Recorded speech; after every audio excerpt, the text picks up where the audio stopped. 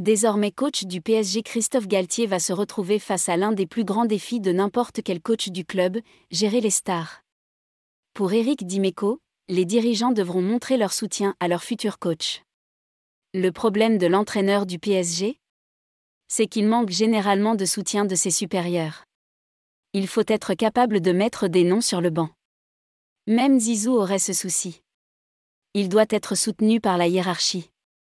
Les Sud-Américains rentrent souvent deux ou trois jours après les autres joueurs aux fêtes de Noël. Normalement, tu dois les sanctionner.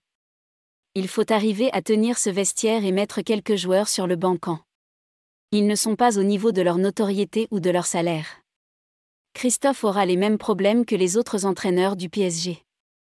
Mettre une tactique, motiver les joueurs, je ne suis pas sûr qu'il fasse plus mal que Tuchel, Emery, a lancé Dimeco pour RMC. Abonnez-vous à la chaîne YouTube de sport.fr en cliquant ici.